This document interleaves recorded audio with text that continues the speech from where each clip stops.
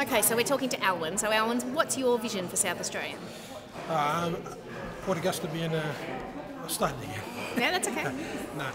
South Australia being a harmonious community where there's opportunities for all people Yeah. and the health of the state is as best it could be.